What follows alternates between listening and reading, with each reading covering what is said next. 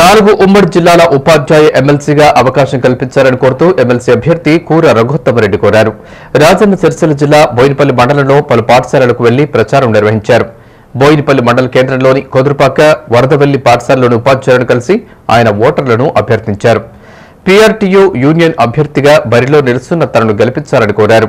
తనను ఈసారి ఎమ్మెల్సీగా గెలిపిస్తే ఉపాధ్యాయ సమస్యల పరిష్కారంతో పాటు నూతన పీఆర్సీ అమలయ్యేలా పోరాడతానన్నారు. కరీంనగర్ మెదక్ ఆదిలాబాద్ నిజామాబాద్ జిల్లాల ఉపాధ్యాయ ఎమ్మెల్సీగా మార్చిలో జరిగే ఎన్నికల్లో తనను ఎన్నుకోవాలన్నారు.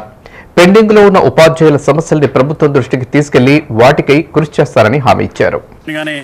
మండల అధ్యక్ష ప్రధాన కార్యదర్శిగా జిల్లా అధ్యక్షునిగా మెరక్ జిల్లా అధ్యక్షునిగా రాష్ట్ర అసోసియేట్ అధ్యక్షుడిగా కొనసాగుతూ ఉన్నాను. ప్రస్తుతానికి ఉపాధ్యాయుల సమస్యల పట్ల పూర్తి అవగాహన కలిగి ఉండి చాలా సమస్యలు పరిష్కరించట్లో నా ప్రయత్నం కొనసాగుతున్నది కాబట్టి అన్ని విషయాలు నాకు తెలుసు.